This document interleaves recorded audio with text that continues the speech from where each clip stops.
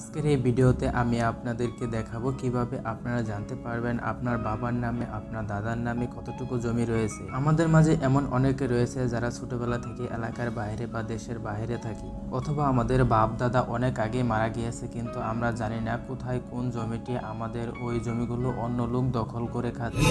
বন্ধুরা, আপনারা চাইলে মোবাইল ফোন ব্যবহার করে আপনারা এখন থেকে জানতে পারবেন আপনার বাবার নামে অথবা আপনার দাদার নামে কোন জায়গায় কতটুকু জমি রয়েছে। এবং খুব সহজেই আপনি সেই জমিটি দখল নিতে পারবেন। কীভাবে এই কাজটি আপনারা শুধুমাত্র মোবাইল ফোন ব্যবহার করে করতে পারবেন বিস্তারিত দেখাবো আপনাদের আজকের এই ভিডিওতে। তো ভিডিওটি শুরু করার আগে আপনাদের একটি ছোট কাজ করতে হবে। ভিডিও নিচে দেখুন একটি লাইক বাটন আছে, এখানে ক্লিক করে একটি লাইক দিতে হবে। আর আপনি যদি আমার চ্যানেলে নতুন দর্শক হয়ে থাকেন, তাহলে পাশে থাকা সাবস্ক্রাইব বাটনে ক্লিক করে চ্যানেলটি অবশ্যই সাবস্ক্রাইব করে দিতে হবে। তো বন্ধুরা, চলুন তাহলে শুরু করা যায় তো এই সকল তথ্য দেখার জন্য আপনারা গুগল ক্রোম ব্রাউজারটি ব্যবহার করবেন। আমার ভিডিও ডিসক্রিপশন বক্সে একটি লিঙ্ক দেওয়া থাকবে। ওই লিঙ্কটি আপনারা ওপেন করবেন আপনাদের গুগল ক্রোম ব্রাউজারে গুগল ক্রোম ব্রাউজারে লিঙ্কটি ওপেন করার পর আপনাদের সামনে ঠিক এরকম একটি ইন্টারফেস আসবে তো আপনারা দেখতে পাচ্ছেন এখানে একটি মাঝখানে অপশন রয়েছে আর এস খতিয়ান তো আপনারা কি করবেন, এই আর এস খতিয়ানের উপর ক্লিক করবেন। তো আর এস খতিয়ানে ক্লিক করলে অনেক সময় আপনাদের এই ওয়েবসাইটের ভিতরে নিয়ে যায় না। তো আপনাদের সামনে যদি এরকম পেজ আসে, আপনারা এখানে দেখতে পাচ্ছেন যে একটি লিঙ্ক রয়েছে। তো আপনারা এখান থেকে এই লিঙ্কটি কপি করবেন। কপি করার পর আপনারা উপরে সার্চ বারে এই লিঙ্কটি আবার পেস্ট করে দিবেন। পেস্ট করার পর গোতে ক্লিক করবেন। গোতে ক্লিক করার পর এখানে দেখতে পাচ্ছেন যে দুইটি অপশন রয়েছে। তো আপনারা নিচের এই অপশনে ক্লিক করবেন। দেখতে পাচ্ছেন যে এখন আপনাদের সামনে একটি নতুন ইন্টারফেস চলে আসছে। তো আপনারা এখানে সিম্পলি ভাবে দেখতে পাচ্ছেন যে বিভাগ। এখান থেকে আপনারা বিভাগটা সিলেক্ট করে দিবেন। এখান থেকে আমি ময়মনসিংহ সিলেক্ট করতেছি। তারপর জেলা সিলেক্ট করবেন। জেলা, আপনার জেলা আপনি সিলেক্ট করবেন। আমি ময়মনসিংহ দিচ্ছি। জেলা উপজেলা। উপজেলা দিচ্ছি আমি মুক্তাগাছা। হ্যাঁ মুক্তাগাছা দেওয়ার পর এখান থেকে আপনারা মৌজাটা সিলেক্ট করে দেবেন। এখান থেকে আমি একটি মৌজা দিতেছি, তারাকান্দি।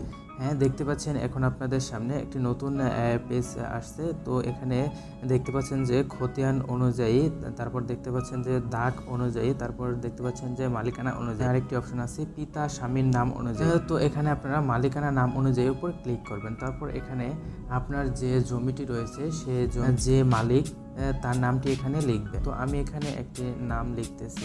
নিচে দেখতে পাচ্ছেন যে যোগফল প্রদান করুন। চার যোগ নয়, এখানে যোগফল আসে তেরো।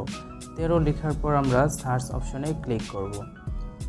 সার্চ অপশনে ক্লিক করার পর এখানে আমরা দেখতে পাচ্ছি যে আন্নেস আলী নামে তিনটি নাম এখানে এসেছে। তো আপনি যে নামটি লিখে সার্চ করবেন, তার পাশে থাকবে পিতার নাম। তো পাশে পিতার নাম দেখে আপনাকে কনফার্ম হতে হবে যে আপনি এই খতিয়ান নাম্বারটি খুঁজতেছেন।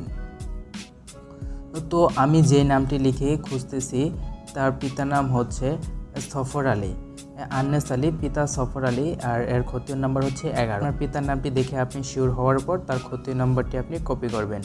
কপি করার পর এখানে দেখতে পাচ্ছেন যে খতিয়ান নং অনুযায়ী, এখানে ক্লিক করবেন। ক্লিক করার পর নিচে দেখতে পাচ্ছেন যে খতিয়ান নামে একটি বক্স এসেছে। এখানে পেস্ট করে দেবেন বা লিখবেন। লেখার পর নিচে দেখতে পাচ্ছেন যে আবার দুই যোগ এক, যোগফল প্রদান করুন। এখানে যোগফল দিবেন তিন। যোগফল হয় তিন। তারপর আবার আমরা খুঁজুনে ক্লিক করি খুঁজুনে ক্লিক করার পর হ্যাঁ দেখতে পাচ্ছি এখানে খুঁজুনে ক্লিক করার পর দুইটা দাগ রয়েছে। এখানে দুইটা দাগ দুইশো উনানব্বই আর রয়েছে তিনশো তেইশ। একটি রয়েছে কান্দা এখানে অংশ রয়েছে এক আর এর পরিমাণ রয়েছে শূন্য দশমিক যেই নামটি লিখে আমি সার্চ করলাম ওই ব্যক্তি এখান থেকে একের শূন্য দশমিক দুই শতাংশ জমি পাবে। আর এখান থেকে বাড়ির যে জমিটি রয়েছে তিনশো তেইশ নাম্বার দাগের এখান থেকে বাড়িতে মোট জমি রয়েছে শূন্য দশমিক পাঁচ অংশ। এখান থেকে সে পাবে শূন্য দশমিক শূন্য নয় অংশ। তো এভাবে আপনি অনলাইনে সার্চ করে আপনার জমির পরিমাণ দেখে নিতে পারবেন। আপনার বাপ দাদার কাছ থেকে আপনি কি পরিমাণ জমি পেয়েছেন বা আপনার বাবার মোট জমির পরিমাণটা এভাবে আপনি সার্চ করে দেখে নিতে পারবেন। এখন আপনার যে এলাকায় ভূমি অফিস রয়েছে, সেখানে যাবেন। যাওয়ার পর আপনি তাদেরকে বলবেন যে, এগারো নাম্বার খতিয়ান যেন আপনাকে তারা বের করে দেয়। আর বিনিময়ে আপনার কাছ থেকে তারা একশো বা দুইশো টাকা নেবে। তো এগারো নম্বর খতিয়ানটি তুলে আনার পর, এই খতিয়ান অনুযায়ী আপনার এই জমিটি যদি অন্য কেউ ব্যবহার করে তাহলে আপনি তাকে গিয়ে বলবেন যে, এই জমিটি আমাদের, এই দেখেন যে, এই খতিয়ান নাম্বার, এর প্রমাণ আপনি দেখিয়ে দিবেন। দেখানোর পর আপনি সেই জমি দখলে নেবেন। তো ভিউয়ার্স আশা করি আপনি ক্লিয়ারভাবে সব কিছু বুঝতে পেরেছেন। এই ছিল আজকের ভিডিও ভিডিওটি ভালো লাগলে অবশ্যই ভিডিওটিতে একটি লাইক দিন আর এরকম নিত্য নতুন টেক নিউজ পেতে আমার এই চ্যানেলটি সাবস্ক্রাইব করে রাখুন, যাতে পরবর্তীতে আমার চ্যানেলের কোনো ভিডিও আপনাদের মিস না হয়। সবাই ভালো থাকুন, সুস্থ থাকুন। আল্লাহ হাফেজ।